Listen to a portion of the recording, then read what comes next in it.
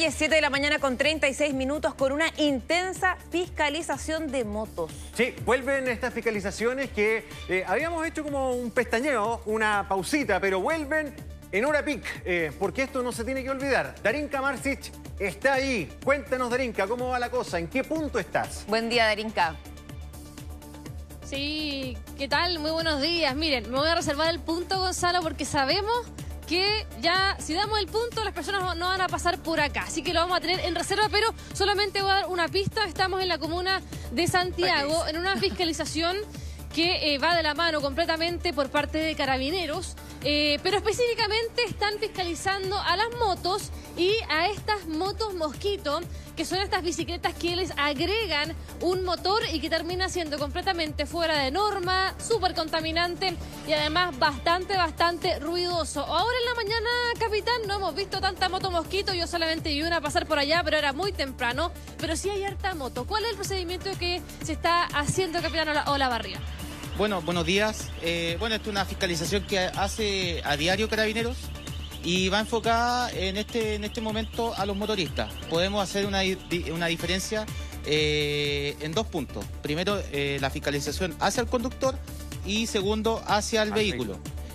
es exigible para todos los conductores que deben tener su licencia en primera instancia, su licencia para este tipo de vehículos, que es la clase C, y eh, las medidas de seguridad que son obligatorias para todos los conductores de este tipo de vehículos. Parece que ahí hay una bicicleta mosquito, ¿no? A ver, acerquémonos, capitán, por acá.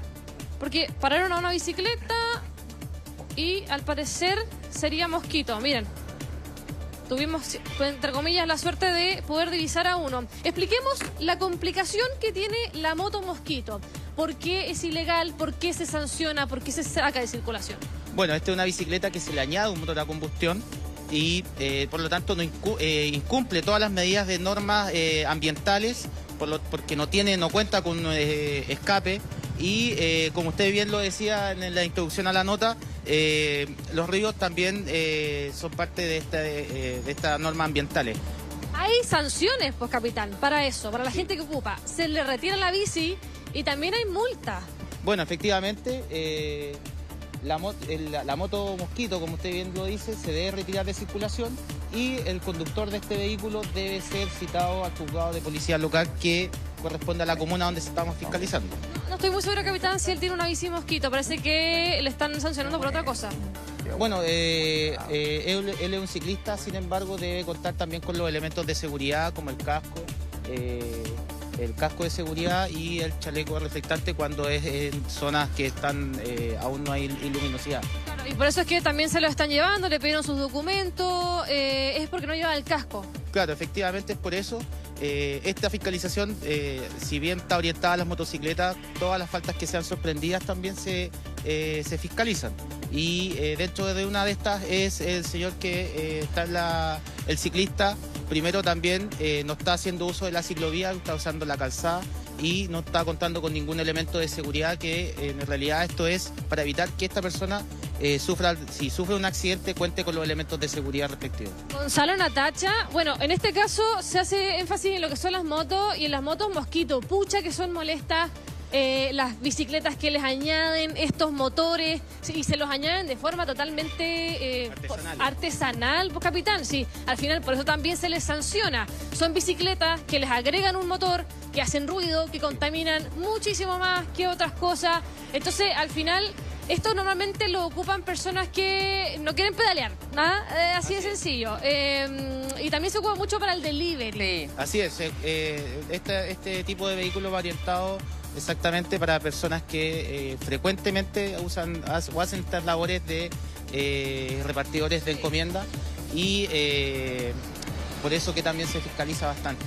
Cuando te retiran la, moto mosquito, tú no puedes pagar algo para poder obtenerla de vuelta, ¿verdad? Simplemente se saca de circulación. Se saca de circulación, pero para poder retirarla hay que ponerla en norma. Ah, ok. Ya, pero como estas bicicletas no no están eh, legalizadas. Eh, nunca se va a poner en norma. ¿Darinka? Exactamente. No. yo pierdo la bicicleta completamente. Te escucho, Natacha. Eh, siempre me hago esta pregunta porque mostramos muchísima fiscalización y me pregunto, Darinka, si esto realmente ha tenido un efecto en la disminución, por ejemplo, de infracciones o no. ¿Cómo lo han visto considerando que hacen este tipo de fiscalizaciones todos los días? ¿Hay más conciencia? ¿Cuál es su análisis, capitán, con respecto a las labores que hacen ustedes? Eh, porque ustedes sacan de circulación, ¿cierto? Dan multa, pero también hay un tema de conciencia. ¿La gente está tomando más conciencia y educación con respecto a las normativas? Eh, Se puede apreciar que sí hay una mayor conciencia, eh, pero esto eh, es producto de las fiscalizaciones que son constantes eh, a lo largo de todo el país que se realiza tanto carabineros cuando se complementa también con los municipios. Eh, y esta labor es importante porque eh, se desconoce muchas veces la, eh, la norma que regula todas estas materias de eh, motocicletas. Ayer también, capitán, estuvimos y Gonzalo Natacha fiscalizando la evasión en los buses y lo que nos decían por parte de Carabinero y también del Ministerio de Transporte era que más allá de dar una sanción, es también eh, concientizar, educar, que la gente aprenda a cumplir con la normativa en el caso de la evasión, que la gente pague, eh, recargue su tarjeta VIP, ¿verdad? Y que no ocupe la TNS, es que no realmente no va al caso, que no abuse de la tarjeta del adulto mayor. Es una educación, entonces el punto que hace la Natacha es súper importante. Si hay realmente un cambio, por ejemplo, si han bajado la cantidad de personas que cometen infracciones. Bueno, efectivamente, como usted lo decía, esto va orientado a la educación, a, a la seguridad de las personas también, porque no contar con los elementos de seguridad o no cumplir con la reglamentación eh, tiene consecuencias legales también para las personas. Entonces, esto, eh, independiente que vaya acompañado de una sanción, eh, es un tema educativo. Allá están, capitán, siguen tomándole los datos a la persona que iba en bicicleta. ¿Podemos averiguar más de eso? Vamos, acerquémonos, acerquémonos, Mario, para saber en qué va, en qué va esa, ese caso, porque no le vemos que tenga motor. Entonces, al parecer sería solamente por no portar casco, ¿no, capitán? Va- va- Vamos a averiguarlo ahora, muchachos, para que también la gente Sí, que nos está viendo mientras y que el lo pueda tener en, en- en consideración. Solamente quiero fiscalizar eh, la bufanda que sacaste, ¿ah? Giga- Está extraordinaria, ¿ah? es como la capa de Superman. Que no se eh, te vaya a enredar. bufandón, bufandón. Pero por favor. El comentario De estilo. ¿Saben de me encanta, te queda Estoy precioso. harta, estoy harta del frío. Yo lo sé. Estoy harta Sí, del nuestra frío. Ustedes nuestra lo saben. es friolenta. Entonces, Ya, pero falta poquito, Darinka. se mandó un bufandazo. Sí. Sí. Que no se vaya a enredar puedes en la continuar rueda con la fiscalización. Eh, como una, me puse una sábana. Me puse una, una sábana. Sargento, una consulta. Se está multando por no uso de casco, ¿por qué? Ya.